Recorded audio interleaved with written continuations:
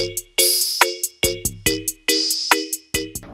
tá preparado para saber tudo sobre mais um tipo de câncer de pele? Quase todo mundo já sabe que precisamos ficar de olho nas pintas, mas as feridas que não cicatrizam ou até verrugas podem ser um câncer de pele. É o caso do carcinoma espinocelular, ou SEC. Ele representa 20% dos casos de câncer de pele. Presilhas avermelhadas e endurecidas podem ser um sintoma desse tipo de câncer de pele.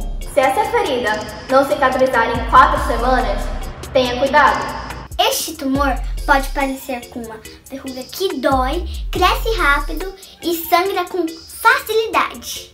A principal causa do carcinoma espinocelular é a exposição solar crônica diária, ou seja, é aquele solzinho que a gente acaba pegando todos os dias. Esse efeito cumulativo faz com que esse câncer de pele seja mais comum em idosos. Mas o sol não é o único fator de risco. Quem tem cicatrizes ou marca de queimaduras precisa ficar de olho nelas. Os pacientes transplantados imunossuprimidos também. Na dúvida, procure um médico dermatologista. Se você tiver uma lesão suspeita, ele vai fazer uma biópsia, fazer o diagnóstico e vai te auxiliar em todos os tratamentos. A cirurgia é o tratamento mais eficaz.